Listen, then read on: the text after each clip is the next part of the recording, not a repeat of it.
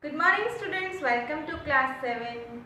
Today we will start a new lesson, lesson number 2, Megho Varshati in our Sanskrit subject. Okay. Now Megho Varshati, Megho Varshati means it is raining. Here the poem is written Megho Varshati and this side their meanings are written. First of all, I will explain the poem with their meanings and you have to listen carefully. If you have a book of Sanskrit, you can open it, open it and look at into your book. Okay. Now let's start the poem. First of all, I will read the poem. Listen carefully. मेघो वर्षति प्रवहति निरम्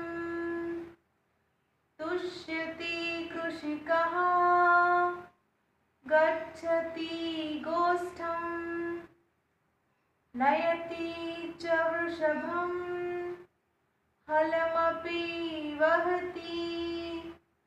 कर्षति क्षेत्रम् वपति च बीजम् रोहति शस्यम् फलति प्रकामम्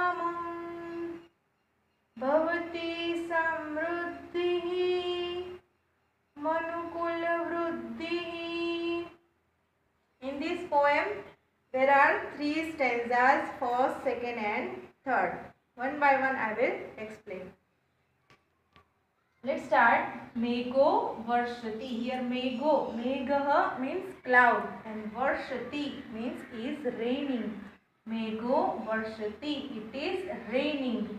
This poem is about the rainy season. Pravahati Niram. Pravahati.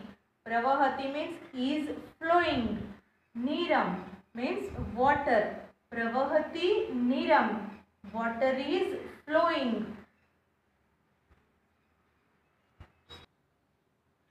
तुष्यति, कृषिक। तुष्यति तुष्यति मीन्स तुष्यति मीन्स इज़ गेटिंग सेटिस्फाइड कृषिक कृषिक मीन्स फार्मर तुष्यति, कृषिक। The farmer the farmer is getting satisfied जब भी बारिश होती है तो फार्मर सेटिस्फाइड हो जाते हैं। वो लोग खुश हो जाते हैं। गच्छति गोष्ठम। गच्छति मीन्स इज़ गोइंग एंड गोस्टम गोस्टम means cattle yard cattle yard means जहाँ पे जो डोमेस्टिक एनिमल्स जो गाय, भैंस होते हैं, उसे, उन्हें रखा जाता है, उसे कैटल यार्ड कहते हैं। तो गच्छति गोष्ठम। तुष्यति कृषिकः गच्छति गोष्ठम। The farmer is getting satisfied and going to the cattle yard नयति च वृषभम नयति Nayati means is taking and Vrushabham. Vrushabham means Vrushabham means bullocks. नयति च वृषभम खेतों को जोतने के लिए जो हल के साथ बुलॉक्स को जोड़ा जाता है तो वो अपने गोस्ट में जाकर, वो कैटल यार्ड में जाकर is going to the cattle yard नयति वृषभम and he is taking the bullocks he is taking the bullocks हलमपि वहति हलमपि हलम अपि हलमपि is is made by, made of two words halam api means also the plow. Api means also and halam means the plow halam api vahati vahati means is carrying he is carrying the plow also. He is taking the bullocks and he is also carrying the plow. Karshati kshetram. Here karshati karshati means is plowing.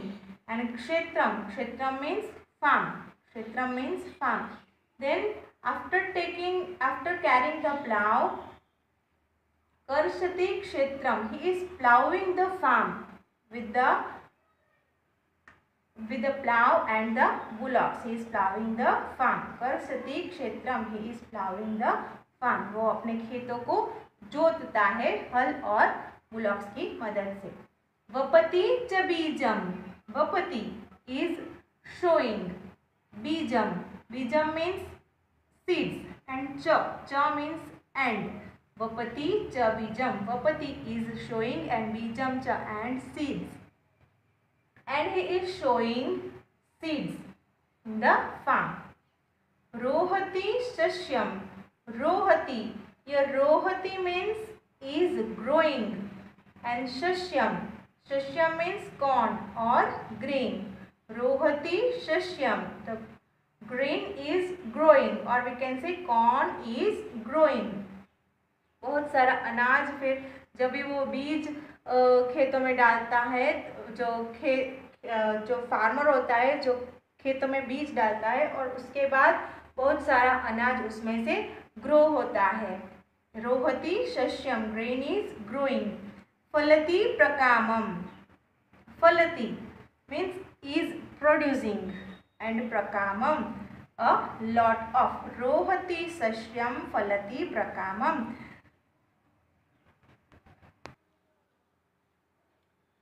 a lot of grain is producing falati prakamam prakamam means lot of and falati means producing a lot of grain is producing भवती समृद्धि मनुकुल वृद्धि भवती समृद्धि Manukula Vruddhihi.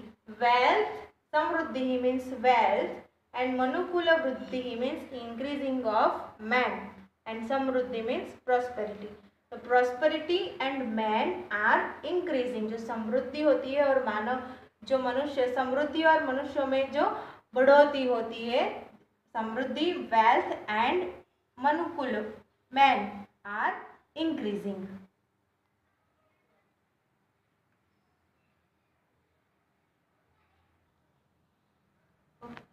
Now you have to write these poems, read and write these poems with their meanings. In your notebook with neat and clean handwriting. We will continue with this lesson in the next session. Thank you.